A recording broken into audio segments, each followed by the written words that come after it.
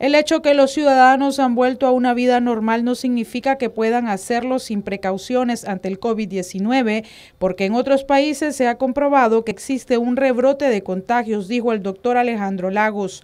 COVID, ¿verdad? El COVID-19 eh, ha sido considerado como una epidemia, ¿verdad?, que no es de corta duración no es una enfermedad que se autolimita, sino que es una enfermedad que día a día se transmite de persona a persona.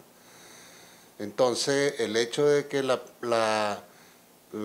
ciudadanos, ¿verdad?, eh, vuelvan a una vida normal, olvidando las lecciones que debieron de haber sido aprendidas, como es las medidas de prevención en cuanto a el uso precisamente del cubreboca, el el lavado de manos, ¿verdad? Eh, enérgicamente, ¿verdad? Durante 20 segundos.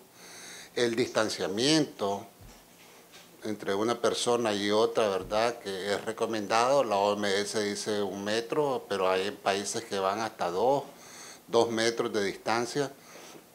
Las recomendaciones precisamente de prevención.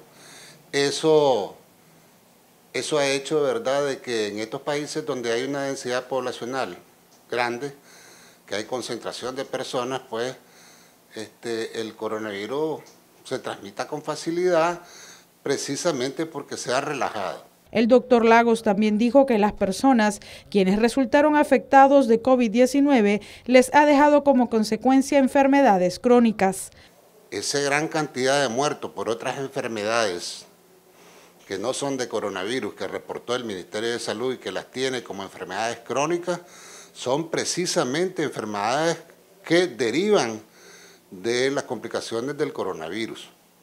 Es decir, que para muchos médicos, entre ellos estoy yo, ¿verdad? nosotros sabemos de que la, letalidad del coronavirus es bien alta. Es bien alta, en Nicaragua es una de las más altas. A pesar de que se reporte pues, que hay 6.000 muertos ¿verdad? en este año y, que pues son por enfermedades crónicas propias de la vejez. Para Noticias 12, Castalia Zapata.